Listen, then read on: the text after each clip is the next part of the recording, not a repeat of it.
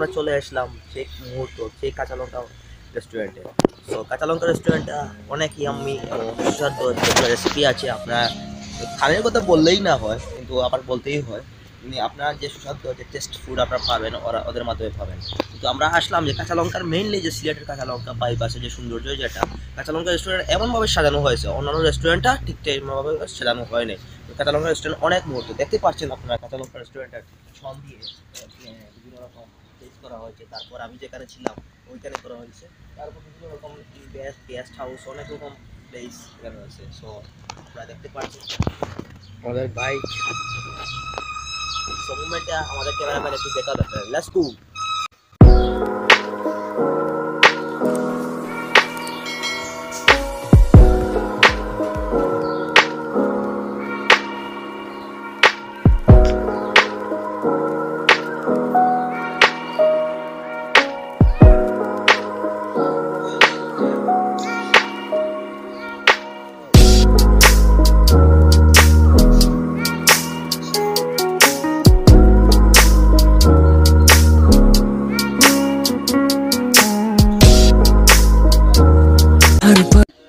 पूछूँ तुझे, हो जाओ तुझ में फिदा।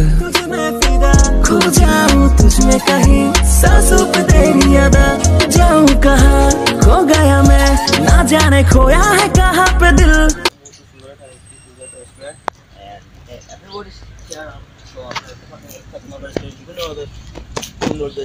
যেহেতু বসন্ত চলে এসেছে, বসন্ত এসেছে, যেহেতু লাল গোলাপগুলা খুব সুন্দর করে সাজানো হয়েছে।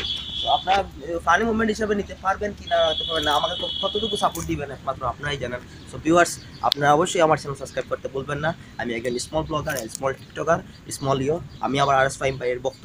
সো এই আর এস ফাইম ভাই যদি আমার কোনো দিন কোনো এক মুহূর্তে, কোনো সময় যদি আমার চ্যানেল প্রমোট করে দেন, তাহলে আমি খুবই ধন্য হব ভাই। তো এই বলে আমি শেষ করতেছি। Bye bye tata.